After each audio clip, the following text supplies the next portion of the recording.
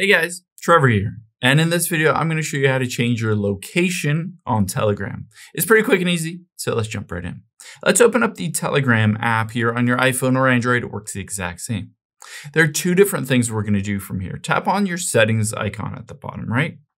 And the first thing that you need to do is swipe down and you can see language here. Tap on language and the first thing you need to do is switch the language to that new country.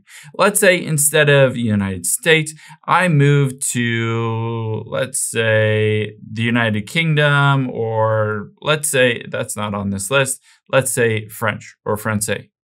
After I've done that, I need to, after I've done that, change the phone number. So I can swipe up to the very top and tap on the edit button at the top right and then tap on change phone number and change phone number.